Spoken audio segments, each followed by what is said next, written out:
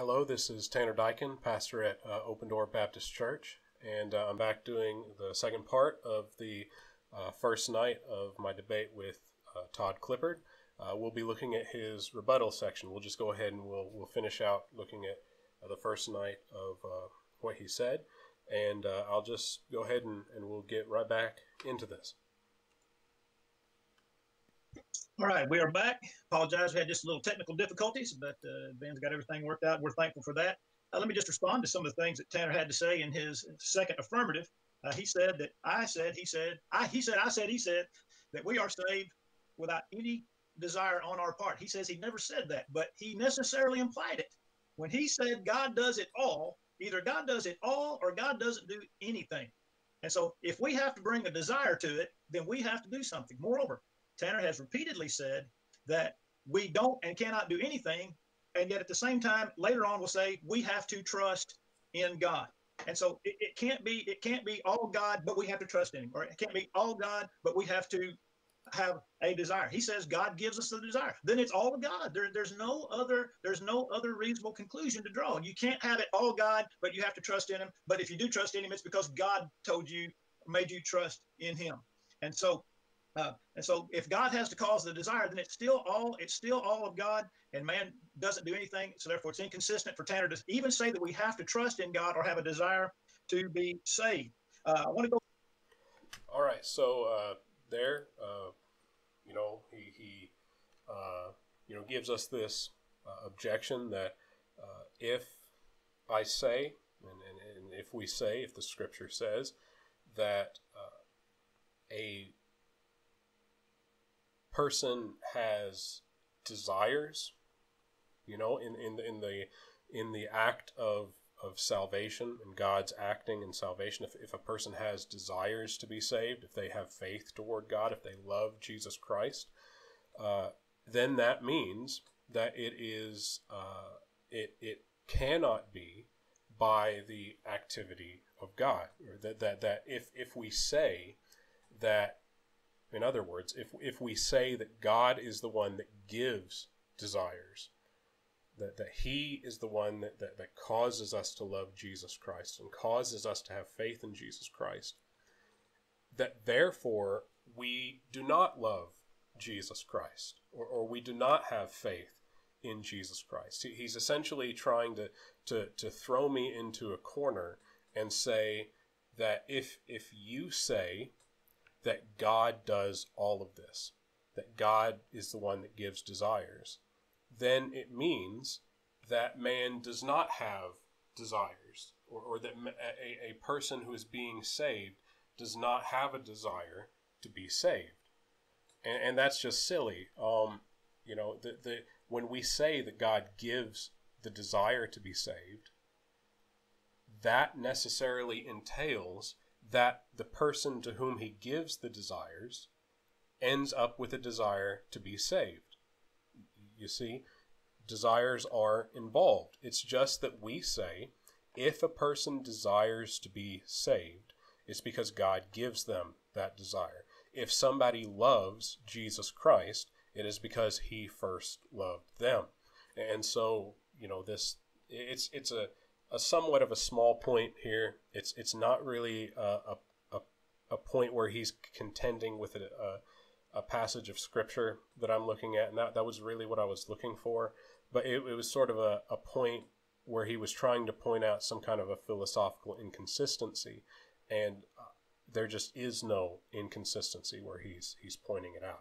And so, uh, you know, there we have that. And let's just uh, go ahead and look at what else he has to say here to, I want to go back to the text uh, with a, with respect to Romans 10. I meant not Romans 10, excuse me, Romans 6 and verse 17. Even even if the word also could be used, which I don't know any translation that uses the word also instead of the word then. All the translations, being then made free from sin. All right, I'll grant it. Let's just say it is also being also made free from sin. You became servants of righteousness. It's still time stamped to obeying from the heart that form of doctrine. Now, Okay, um, you know, here's a another point regarding uh, you know, Romans six seventeen and eighteen, and uh, you know, this is just something I, I want to look at again. I know I looked at it in the last video, uh, but he says that there is no translation which understands, um, you know, how the sense that I was giving of verse 18, uh, that that that is, you know, that gives that sense of the word. Well, first, I would argue that that the King James is open to that interpretation of the beginning of verse 18, right? The word then is a little bit looser in the English language than uh, uh, you know Todd is is is letting on here. Uh, it can, it definitely can mean temporal priority, um, but it can it can also mean that you know this is true, right? It's it's sort of just a, a word to, to transition, you know, being then made free from sin, you know, uh, it's it's sort of a, a way of transitioning. Um, and it doesn't necessarily necessarily mean that what came before was the cause of what comes after. You know, uh, it, it, can just you know be a transitionary statement. But uh, you know, even though the word the word also, uh, I, I don't know of any translation that uses the word also there. The same sense of not you know that that this causes that but sort of a transitionary, you know, going between, uh, you know, one verse to the next, one statement to the next, is is actually given in other translations, and, and two notable ones would be the New King James translation and the MEV translation. Now, you know, uh, I I exclusively use the King James in my, uh, you know, my devotion, in my preaching, and in liturgy and everything. Um, but I just thought I'd point this out to Todd in case he, you know, he uh, hadn't realized this.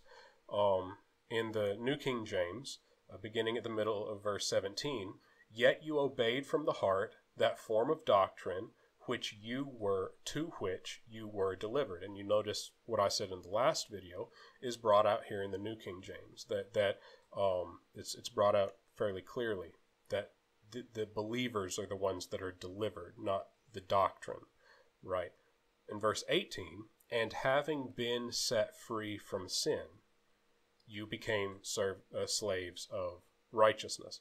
Um, you know, there again, it's it's not, you know, being because of this made free from sin, as you know, the usage of the word then is is being implied by Todd, um, but and having been made uh, been set free from sin, just simply, and you were set free from sin. Um, it's it, it doesn't necessarily mean that what came before was the cause.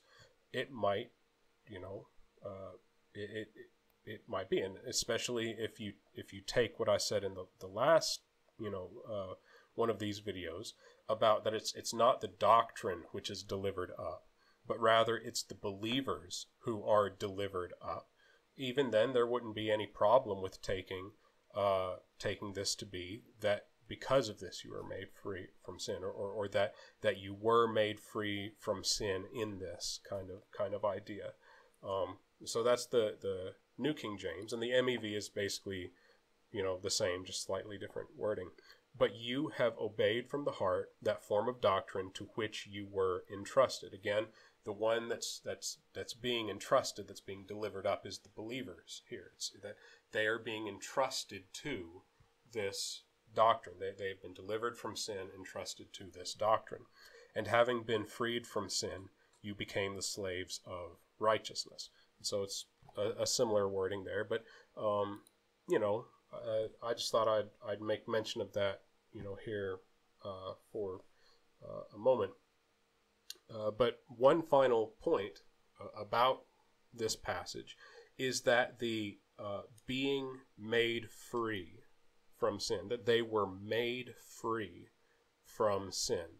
Uh, you know that that right there, that action of being made made free, um, is passive. It's grammatically passive. Uh, it's not something that they they did something to affect this in themselves, or they did something as a condition to get this to themselves, but rather it, it's a passive act. and that's just another small point. But you know, they they were made free, and that comes through very clearly in the English. They were made free. Um, they they did not make themselves free. They they, they did not uh, become free by themselves. They were made free. It's it's passive. It's done to them, and uh, you know, so there, you know, is a little there. What we see here in the passage is just it's it's just straightly that God sets them free, and when He sets them free, they obey the doctrine that that He gives. Right? He, they obey righteousness rather than sin. You know, God be thanked. He's the one doing this. He sets free, and then they obey the doctrine, and that's that's pretty pretty simple uh, there. Um, now uh, we'll just go ahead and, and watch a little bit more what he says here. The form of doctrine that was obeyed from the heart that brought to these individuals the remission of their sins, and Paul answers that question in Romans chapter six and beginning in verse number one. He says, "What shall we say then? Shall we continue in sin that grace may abound? God forbid." How shall we who are dead to sin live any longer therein? Now catch this. Or know ye not that as many of us as were baptized into Jesus Christ were baptized into his death? Therefore we are buried with him by baptism into death, that like as Christ was raised from the dead by the glory of the Father, even so we also should walk in newness of life. For if we have been planted together in the likeness of his death, we shall also be in the likeness of his resurrection, knowing this, that our old man was crucified with him, that the body of sin might be done away with, that we should no longer be slaves of sin. That's exactly what Paul's talking about. They were no longer the slaves of sin, there in verse 17 and 18. When did they cease to become the slaves of sin? When they obeyed from the heart the doctrine delivered to them. What was the doctrine that was delivered to them? The doctrine of being buried with Christ in baptism. Tanner has to answer this question. When is a man raised in newness of life? When is he raised in newness of life? And Paul says that the newness of life comes only after we are baptized, buried with Christ in baptism. Second question Tanner would have to answer from this text what does it mean to be planted together in the likeness of his death? And the, the obvious answer is that is a reference to being baptized. And note that it is a condition if we have been planted together in the likeness of his death. If we have been baptized, then we shall be in the likeness of his resurrection. So Romans chapter 6 and verse 17, then or also makes no difference whatsoever that uh, that uh, that one obeys from the heart the form of doctrine which was delivered to them, being then made free from sin, they became the servants of righteousness. And Paul said that doctrine, that form of doctrine, that obedience is being buried with Christ in baptism.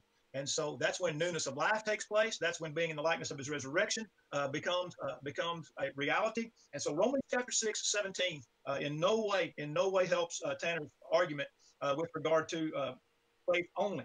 Tanner- All right. Um, so he says a lot here. And there are a couple of things that I would like to to point out here.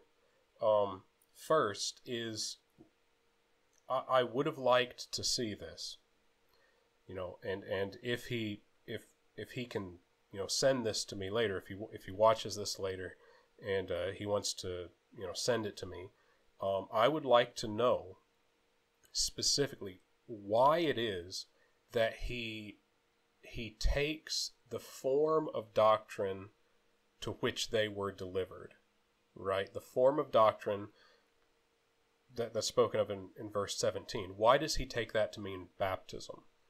You know is there a, an ex, a specific reason why that is or is that kind of an assumption that's that's given? You know that that, that he, he he kind of you know he thinks well baptism was talked about immediately prior you know and and so it, it can't refer to anything else other than baptism. And you know that's that that's fairly weak in my opinion just to say that it was immediately prior. It was the last answer to the last question that was that was raised by the imaginary objector that Paul is using. And um, you know I don't I don't I don't know why he would assume that. That there are several things that it could mean. It could mean baptism. It could also mean uh, faith in Christ, right? That, that, that we obey the call to have faith in Christ, to trust in Him. and that's that's perfectly fine with uh, you know sola fide. That there's nothing wrong with that. Um, of course, again, this passage is still talking about how the believers were delivered to obedience, um, not how their obedience led to their deliverance, but uh, you know that's that's uh, two things. Another thing is he asked um, he asked a couple of questions here, and let me you know just make sure that I, I get this correct. In in verse five, um, in in verse four, uh, rather, therefore we are buried with him by baptism into death, that like as Christ was raised from the dead by the glory of the Father, even so we also should walk in newness of life. For if we have been planted together in the likeness of his death, we shall be also in the likeness of his resurrection. And his question is, you know, uh, what it, he asks, what does it mean to walk in newness of life, right? And that's that's obvious. It's the Christian life. You know, that's that's that's what we are are called to walk in. You know, we've been made new in Christ, and we're called to to live out that reality. And um, he asks, you know, what does it mean to to be in the likeness of his death? Well, that's that's again obviously baptism, right?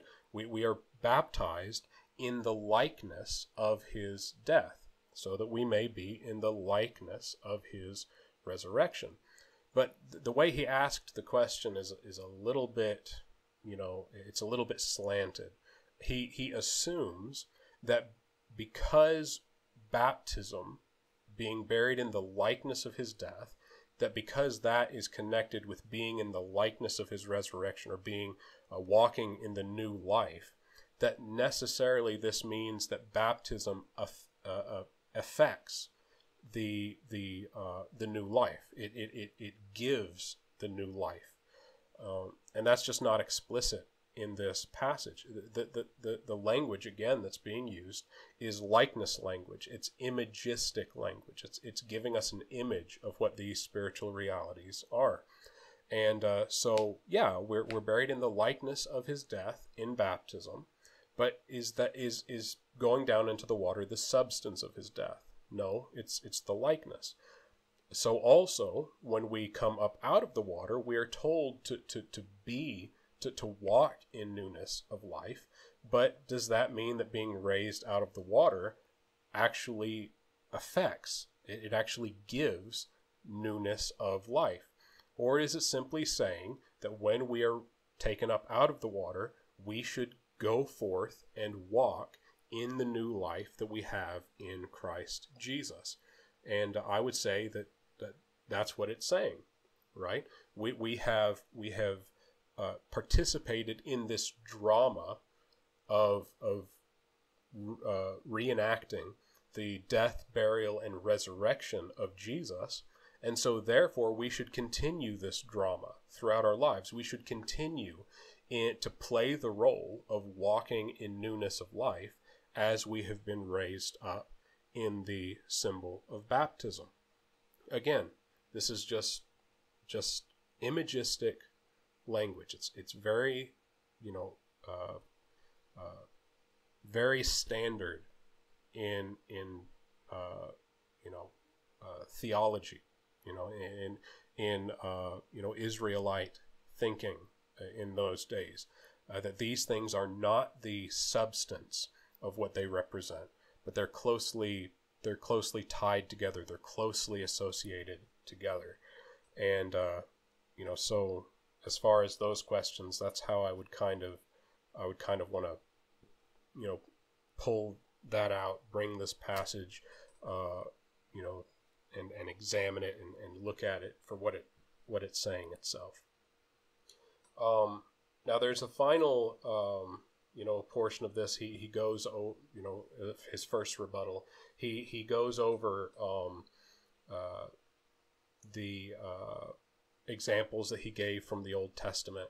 Uh, he he tries to answer my criticism of that that he's somewhat assuming that that the his application of them and and he's kind of assuming that they are talking about justification which is the you know topic of our our discussion and uh, you know, I, I would have liked again to see him pull this out a little bit more so that we could we could see some you know interactions, some criticisms about it, and uh, you know he at that point at this point in the the rebuttal he he just again points to Hebrews chapter eleven, uh, but if we look at Hebrews eleven, justification language is not used. What is used is uh, again this idea of of walking in faith, of living by faith, uh, the, the the lifelong effort of, uh, of of of trusting in Christ in all that we do, and how doing this brings a good report on us before the world. We are vindicated before the world, and through that perseverance, we finally do reach our heavenly home, right? It's not justification language, it's perseverance language, and it's vindication language. And, uh, you know, so there we have that. Uh, the final uh, things that I want to look at uh, are his uh, closing statement. most of it, because there were some technical difficulties, he, he wasn't able to hear my um, my closing statement, uh, he basically just had to go back to his notes and say, you know, a few things, make a few criticisms of some of the stuff that I had said before, um, you know, which is understandable. Um, you know, we understand that, and uh, but there there was, uh, you know, one thing that I kind of wanted to look at that he had said, and it's in the context of a uh, an analogy that he uses about endorsing a check. And, uh, you know, what he was saying is that if he received a uh, an inheritance check, an estate check from his uh, parents, it, you know, they pass away, they leave him some money, and, uh, you know, he takes the check and he uh, goes to endorse the check, to deposit it, and he says that what when he deposits that check, that he is not earning the check, that it is a you know it's it's it's unmerited, it's it's it's given to him, uh, you know, by his his parents didn't deserve it, didn't work for it. That was his parents' work, and we understand that. And he was saying, nonetheless, there are conditions for receiving the money. There are legal conditions that he has to, namely, endorse the check, right? He has to put his name on the back of it, and then, of course, you know, go somewhere where he can get, you know, the money out of it. Um, and he makes a statement, and it was a miss. You know, I know that he he misspoke, likely when he said this, but it's nonetheless a good criticism of this analogy that he uses. And I just want us to listen for it here. And those are the conditions that are attached to receiving a check, to administering or making the, the power behind the check a reality. And so and so so it is with obedience to the commands of God. Now, just I'll give you a moment if you caught what he said there. Um, what he said was that endorsing a check is necessary to make the power of the check a reality. And I know that if he went back and he listened to this, or if he, you know, comprehended that he said that in the moment, um, he would probably want to say he misspoke, and you know, I'd give him the, the benefit of the doubt on that one. Um, nonetheless, I think it's a good criticism that legally speaking, you know, endorsing a check is something that we have to do. Otherwise, the check is worthless. Otherwise, anyone could pick the check up. You know, uh, you know, if, if we don't endorse the check, anyone can pick the check up and take it to the bank and get nothing out of it.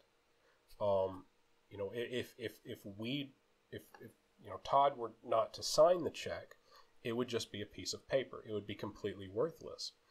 And it seems to me that if Christ's merit, if if if his salvation is dependent on me actualizing it, me in in a sense endorsing it, then that makes my authority greater than Christ's authority, right?